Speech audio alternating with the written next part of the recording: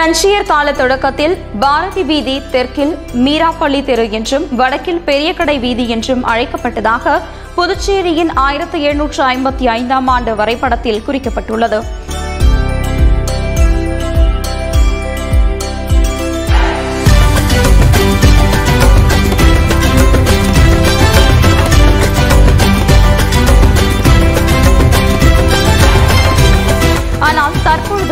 அத்தெருவில் மசூதி ஏதும் இல்லை.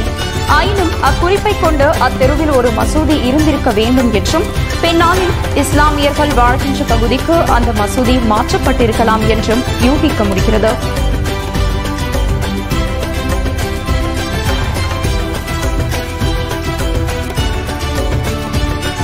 அம்மீரா பள்ளி கிறிஸ்துவர்களும் சோழர்களும் வாழ்ந்த பகுதியில் இருந்தது என்ற குறிப்பு ஆனந்தரங்க பிள்ளை நாட்குறிப்பில் காணப்படுகிறது.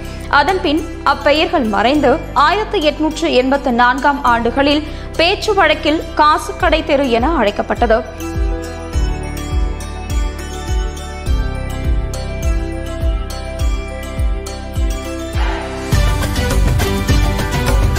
பின்னர் ஆயிரத்து தொள்ளாயிரத்து எட்டாம் ஆண்டு முதல் பத்து ஆண்டுகள் முண்டாசு கவிஞன் பாரதி புதுச்சேரியில் தங்கியிருந்தார்.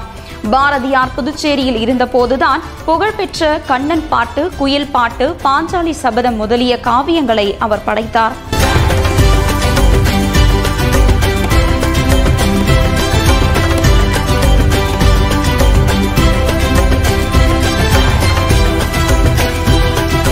பல்வேறு கவிதைகளை எழுதிய பாரதியின் நினைவை கூறும் வகையில் இந்த தெருவிற்கு ஆயிரத்து தொள்ளாயிரத்து ஐம்பத்து நான்கு முதல் பாரதி வீதி என பெயரிடப்பட்டு தற்போது வரை அதே பெயரில் அழைக்கப்பட்டு வருகிறது.